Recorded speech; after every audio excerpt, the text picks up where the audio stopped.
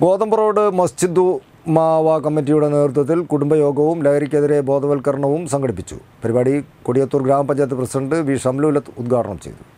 നന്മ കാക്കാം വിജയത്തിലേക്ക് യാത്ര പോകാം എന്ന മുദ്രാവാക്യവുമായാണ് ഗോതമ്പ് റോഡ് മസ്ജിദുൽ മഹവ കമ്മിറ്റിയുടെ നേതൃത്വത്തിൽ മഹൽ സംഗമവും ലഹരിക്കെതിരെ കുടുംബ ബോധവൽക്കരണ പരിപാടിയും സംഘടിപ്പിച്ചത് അൽ മദ്രസത്തുൽ ഇസ്ലാമിയ അങ്കണത്തിൽ നടന്ന പരിപാടി ഗ്രാമപഞ്ചായത്ത് പ്രസിഡന്റ് വി ഷംലൂലത്ത് ഉദ്ഘാടനം ചെയ്തു.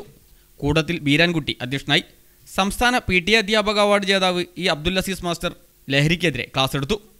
തുടർന്ന് ലഹരി വിരുദ്ധ പ്രതിജ്ഞയും നടന്നു.